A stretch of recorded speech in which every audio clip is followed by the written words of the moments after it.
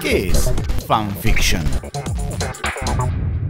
Son relatos de ficción escritos por fans, que toman una obra literaria o dramática como punto de partida, utilizando un universo que ya existe. Surgen de películas, literatura, cómics, programas de televisión, videojuegos, manga o anime.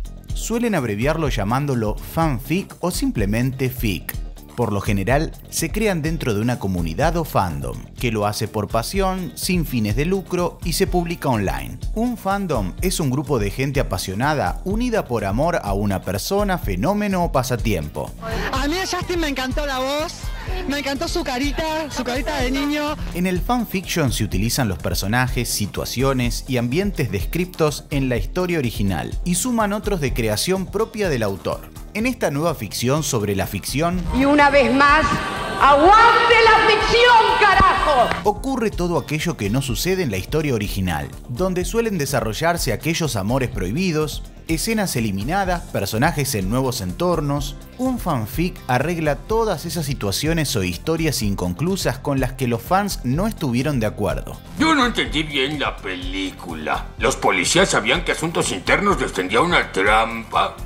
¿De qué está hablando? No hay nada de eso en la película. Es que cuando me aburro invento otra película. Muertes, desencuentros y amores que nunca se concretaron.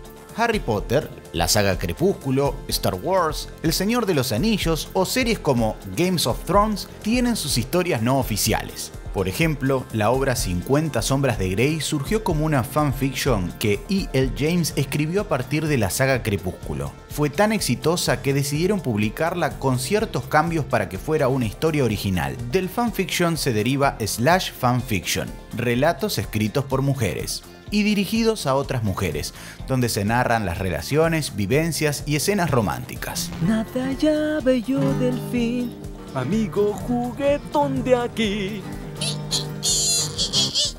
El slash fanfiction tuvo mucho éxito en todos los fandoms, incluso en los más insólitos como Star Trek, donde se desarrollaron historias con relaciones interespecies. La música también es disparador de historias, como en el caso de After. El fanfiction creada por Anna Todd, fan de One Direction.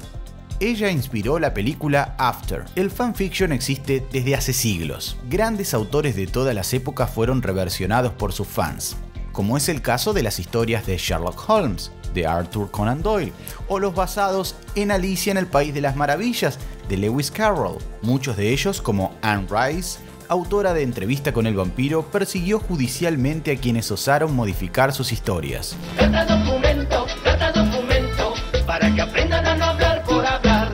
Otros, como J.K. Rowling, celebran la creatividad de sus fans. En la época previa a Internet, el fanfiction era habitual en revistas o publicaciones independientes. Hoy existen foros y comunidades de usuarios, con el aporte de cientos de fans de todo el mundo. Existen fics con una gran cantidad de capítulos y hay también one-shots, fics de solo un capítulo. ¿Qué historia te hubiera gustado que terminara de otra manera? ¡Palacio! señoras y señores. Podés imaginar el final que quieras y convertirte en un verdadero autor de fanfiction. Muchos fans estarán agradecidos.